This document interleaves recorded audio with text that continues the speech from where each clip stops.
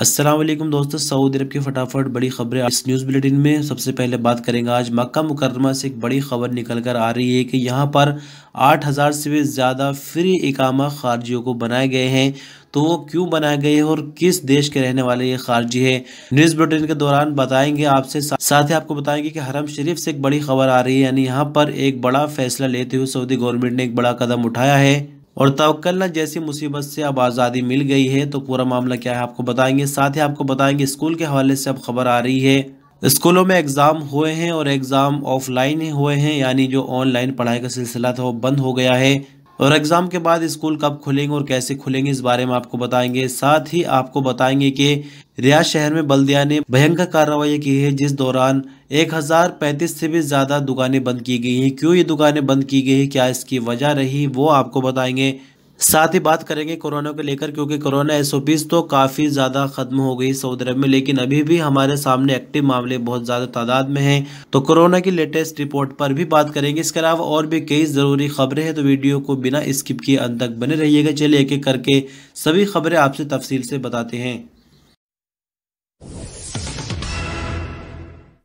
मक्का मुकर्रमा में कच्ची बस्तियों को रिफॉर्म करने के प्रोग्राम यानी दोबारा से उनको नए तरीके से बनाने के प्रोग्राम के स्पोकमैन डॉक्टर अमजद मगरबी ने कहा कि कोज अल निकासा में रहने वाले बर्मी कम्युनिटी के 8000 से ज़्यादा लोगों को रहने को अब कानूनी बना दिया गया है। ये इकामा और लेबर लॉ को वायलेट करके अल निकासा में रह रहे थे। अल अखबार चैनल के मशहूर प्रोग्राम नशरा निहार को इंटरव्यू देते हुए मगरबी ने कहा कि सऊदी अथॉरिटी ने इंसानी बुनियादों पर बर्मा के गैर कानूनी खारजों के मसले हल किए हैं। इससे पहले हज़ारों बर्मियों को फ्री काम जारी किए गए थे। उन्हें नौकरियाँ दी गई थी और उनके रिहाइश का इंतज़ाम भी किया गया था। गवर्नर मक्का मुकर्रमा प्रिंस खालिद अल फैसल ने इस हवाले से अपनी ज़िम्मेदारी में स्कीम चलवाई जिसको सऊदी लीडरशिप की भी मंजूरी मिली थी। मगर अभी ने आगे बताया कि अल्लिकासा मोहल्ले के घरों को निवासियों से खाली कराकर तोड़वाया गया है। बाकी जो पुराने घर बचे हैं, उनको ईद उल फितर के बाद तोड़वाए जाएँगे। इस दौरान वहाँ रहने वाले बर्मियों के मसलों का भरपूर तरीके से जायजा लेकर हल किया जा रहा है। सऊदी मिनिस्ट्री ऑफ़ हज उम्र ने हरमिन शरीफेन में एस ओ पीज में और ज़्यादा नरमी करते हुए ज़ायरीन के दाखिले से पहले तवक्लना में स्टेटस दिखाने की शर्त ख़त्म कर दी है। एक लोकल सऊदी अखबार सबक के मुताबिक मिनिस्ट्री ने कहा कि मस्जिद हराम और मस्जिद नबी में अब ज़ायरीन तवक्लना में अपना स्टेटस दिखाए बिना दाखिल हो सकते हैं। मिनिस्ट्री ने आगे कहा कि इससे पहले मस्जिद हराम में नमाज़ के लिए और मस्जिद नबी में ज्यारत के लिए परमिट लेने की भी शर्त खत्म कर दी गई थी। हरमिन शरीफेन में सोशल डिस्टेंसिंग को भी खत्म कर दिया गया था, जबकि बाहरी देशों से आने वाले जारीन पर पीसीआर की पाबंदी भी खत्म कर दी गई थी। सऊदी स्कूलों में 10 मार्च 2022 यानी जुमरात को इम्तिहान यानी परीक्षा खत्म होने के बाद दूसरे सेमेस्टर की 10 दिन की छुट्टियाँ शुरू हो गई है। एक ग्लोबल सऊदी अखबार आजिल के मुताबिक छुट्टी के बाद तीसरा सेमेस्टर 20 मार्च 2022 को शुरू होगा। मौजूदा एकेडमिक साल 29 जून 2022 को खत्म होगा और 30 जून 2022 से जो वार्षिक लंबी छुट्टियाँ होती है, वो शुरू हो जाएँगी। दूसरी तरफ़ जद्दा और मक्का की बल्दिया का कहना है कि स्कूलों में छुट्टियों के दौरान मक्का मुकर्रमा के पब्लिक पार्कों वगैरह के साथ साथ जद्दा कॉर्निश और सी फ्रंट वगैरह के अलावा और भी शहर में कई ऐसी जगह है जहाँ पर बच्चे छुट्टियों के दौरान अपने मनोरंजन के लिए जा सकते हैं। रियाज म्यूनसिपलिटी ने बीते चार महीने के दौरान चेकिंग कार्रवाइयों में 1035 शॉपिंग मॉल और दुकानें बंद कर दिए हैं। एक लोकल सऊदी अखबार सबक के मुताबिक म्यूनसिपलिटी ने कहा कि चेकिंग कार्रवाइयाँ बारह सरकारी विभागों की मदद से हुई है। म्यूनसिपलिटी ने कहा कि चेकिंग कार्रवाइयों में सेंट्रल रियाज रीजन को तवज्जो दी गई, जहाँ नियमों के वायलेशन की कई घटनाएँ सामने आई है। जिन दुकानों को बंद किया गया है, उनमें से कुछ के पास लाइसेंस नहीं थे, जबकि बहुत सी दुकानें बल्दिया के नियमों का उल्लंघन कर रही थी। तो इस न्यूज़ में बात करेंगे कोविड की रिपोर्ट की। दरअसल 10 मार्च की शाम जो कोविड 19 की रिपोर्ट आई है, उसके मुताबिक सिर्फ़ 190 नए मामले रिकॉर्ड पर आए हैं।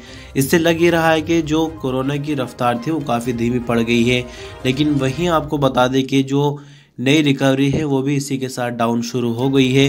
तो नई रिकवरी 455 रिकॉर्ड पर आई है और आपको बता दें कि एक्टिव मामले अभी भी सऊदी अरब में 9636 है और मरने वाले की नई तादाद इस रिपोर्ट के मुताबिक एक दर्ज की गई है। तो एक सौ नब्बे नए मामले रिकॉर्ड आने के बाद कुल मामले सऊदी भर में सात लाख अड़तालीस हज़ार एक सौ इक्कीस हो जाते हैं। चार सौ पचपन नई रिकवरी के बाद नौ हज़ार नौ सौ दो कुल रिकवरी जबकि एक नई मौत के बाद नौ हज़ार तेरह कुल मरने वालों की तादाद हो जाती है। सऊदी ट्रैफ़िक विभाग जद्दा ने कहा कि जद्दा में अमीर माजिद रोड, जिसको अल सवीन भी कहा जाता है, जुमे और जुमरात की मध्य रात्रि यानी रात एक बजे से जुमे को दोपहर चार बजे तक बंद रहेगा। सबक वेब न्यूज़ के मुताबिक, ट्रैफ़िक विभाग का कहना है कि अमीर माजिद रोड को किंग अब्दुल अज़ीज़ चौराहे के दक्षिण में बंद किया गया है। इस सिलसिले में म्यूनसिपलिटी की भी मदद ली गई है। ट्रैफ़िक विभाग ने ट्विटर अकाउंट पर आगे कहा कि अमीर माजिद रोड 11 मार्च दोपहर चार बजे तक पैदल चलने वालों के लिए पुल बनाने की वजह से बंद किया जा रहा है। इस रोड को इस्तेमाल करने वालों से अपील की जाती है कि वो डायवर्जन रूट को इस्तेमाल करें। सऊदी अरब में बीते दो साल से कोरोना के कारण हरबीन शरीफेन में इफ्तार परमिट के हवाले से कमी देखने में आई, मगर इस साल इफ्तार दस्तरखान के परमिट जारी किए जा रहे हैं। हरमीन शरीफेन मैनेजमेंट ने इस साल मस्जिद हराम मक्का मुकरमा में ज़ायरीन को इफ्तार कराने के लिए परमिट जारी करने की शर्तें जारी कर दी है। सबक न्यूज़ के मुताबिक हरमी शरीफ मैनेजमेंट ने कहा कि इफ्तार कराने के लिए परमिट लेने वालों को 10 तरह की शर्तें पूरी करनी होगी। तो 10 शर्तें क्या होगी वो तो हम आपसे नहीं बताएँगे, क्योंकि वो सिर्फ़ उन लोगों के लिए है जो कि इफ्तार कराने के लिए परमिट लेना चाहते हैं। लेकिन खबर बताने का मकसद सिर्फ़ और सिर्फ़ आपसे ये है कि हालात फ़िलहाल काफ़ी हद तक नॉर्मल हो गए हैं और रमज़ान में भी हमें दो साल पहले वाला इन दिनों एक्सपीरियंस देखने को मिल जाएगा। अरब जॉइंट फोर्स का कहना है कि बीते 24 घंटों के दौरान यमन के हज्जा और मारब कमिश्नरी में हौसे आतंकवादियों के कई ठिकानों पर टारगेटेड ऑपरेशन किए गए हैं। अखबार 24 के मुताबिक हौसियों के खिलाफ मिलिट्री ऑपरेशन का मतलब हौसियों से रीजन को सुरक्षित रखना है। अरब जॉइंट फोर्स की तरफ़ से सवाल से आगे कहा गया है कि यमन के दोनों सूबों में हौसियों के ठिकानों पर अरब जॉइंट फोर्स की एयर कमान ने 16 हमले किए हैं। अरब जॉइंट फोर्स के ऑपरेशन से हौसियों की नौ गाड़ियाँ तबाह हो गई, जबकि कई हूसी भी जान से हाथ धो बैठे हैं। अरब जॉइंट फोर्स का इस हवाले से कहना है कि यमन में हूसी लगातार सरहद कानून का उल्लंघन कर रहे हैं। आपकी जानकारी के लिए बता दें कि बुध की रात भी हूसियों की तरफ़ से सऊदी अरब के जाजान कमिश्नरी पर धमाका करने के लिए एक ड्रोन भेजा गया था, लेकिन सऊदी एयरफोर्स ने मौके पर कार्रवाई की और उसको हवा में ही नाकाम बना दिया। तो न्यूज़ बुलेटिन के अंत में आपको बताएँगे हरब शरीफ से खबर आ रही जैसे कि आपको बताया कि स्कूलों में छुट्टियाँ शुरू हो गई, इम्तिहान होने के बाद सेम ऐसा ही बाकी जीसीसी कंट्रीज़ में भी देखने को मिला है। स्कूलों में दस दिनों की छुट्टियाँ हुई है।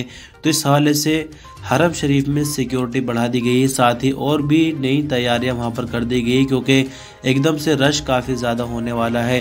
फिर सामने रमज़ान भी है तो इसी के चलते हरम शरीफ के अंदर सिक्योरिटी बढ़ाई गई है। यानी हरम शरीफ अब पूरी तरह से तैयार है नए मेहमानों का वेलकम करने के लिए। तो इस तरह से दोस्तों खबरों का सिलसिला ये खत्म हो जाता है। वीडियो पे एक छोटा सा लाइक दे सकते चाहे तो चैनल में सब्सक्राइब कर सकते हो। सवाल सुझाव तो कमेंट में बताएँ। हम मिलते जल्दी एक नई वीडियो के साथ। तब तक के लिए अपना ख्याल रखिए। हाफिज़।